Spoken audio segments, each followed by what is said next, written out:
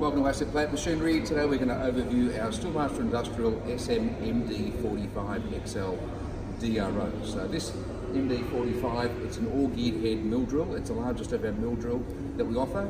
Uh, some of the key features being a uh, MT4 spindle here, which is uh, held by a M16 drawbar. So basically you can put your drilling and also all of your drawbar type uh, milling cutters in there.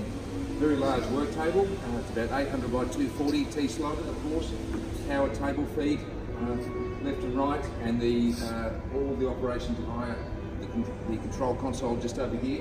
One of the key uh, benefits of the 45XL is you've got power up and down, basically uh, on the head there, so that's actually moving up as we speak. And you can have that obviously winding up and down. There's also a manual override just over here, a manual override, so uh, if for some reason uh, you want to actually turn that by the handle, simply put that back on. Uh, we've got an LED work light there. Uh, as I said, we've got power feed, which is uh, which operates the table left and right. There's also stoppers here, so you can set those stoppers if, if you have a certain milling application where you know you're walking away from the machine. You, you stop those. We'll run up there and show you how that works. So there's a rapid button there, and also we've got adjustable feed here on the table. But if that rapid button comes up, hits that feed, it basically turns it back off again which is great. So put that back into the reverse position and we'll rapid that back again.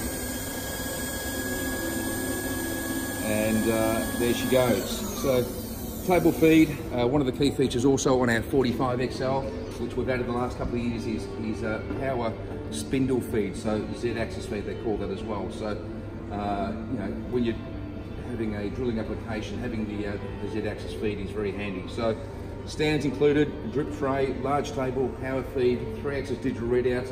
The head also um, uh, pivots left and right, uh, as you can see there as well. So uh, loosen those uh, those fixing points and the head pivots left and right.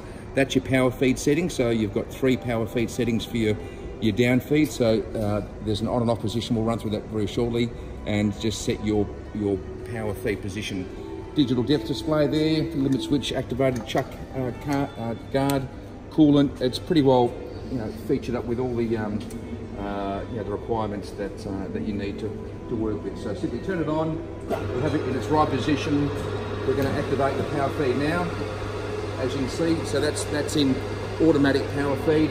We're going to let that travel to its maximum depth, and then that'll auto return. So nice and smooth in operation, as you can hear that. You can set the digital depth uh, display just over there as well in metric and imperial. So That'll go to its maximum depth, which is also adjustable, and then that'll just return to its start position. So we'll just wait for it to cycle.